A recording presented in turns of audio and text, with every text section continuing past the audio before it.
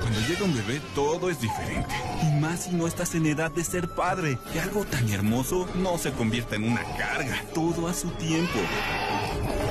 Todavía estás muy chico para algo tan grande. Ven e infórmate en las clínicas de salud estatales o en el DIF de tu localidad. Tabasco cambia contigo.